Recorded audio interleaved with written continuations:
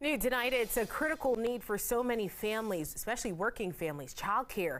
And a leading community service organization is stepping up to make it accessible and affordable for families in Washington County. Stephen Cohen takes a look at the plans.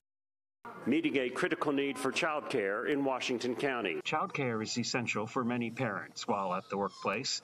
Here in Washington County, the YMCA is striving to be sure it is available to any family that may need it. Without those programs there, a lot of parents would have to work limited hours um, or maybe couldn't work at all. The YMCA is expanding childcare to 22 sites at Washington County schools with learning programs staffed by professionals. And without childcare, parents can't work, parents can't do go to school.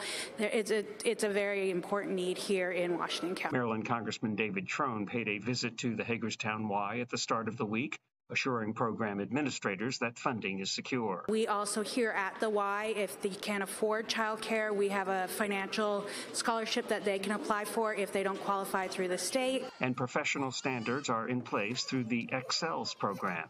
Excellence counts in early learning and school age care. Great option that the Y is, an affordable option that the Y is, and just somewhere that their kids can be happy and safe. Arranging childcare through the YMCA is as simple as going online or visiting the Y on Eastern Boulevard in Hagerstown.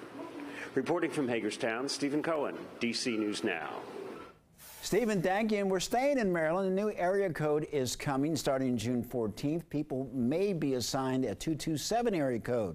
Well, this is in response to the high demand of telephone numbers. Last September, the new area code was approved to overlay the existing 240 and 301 area code region.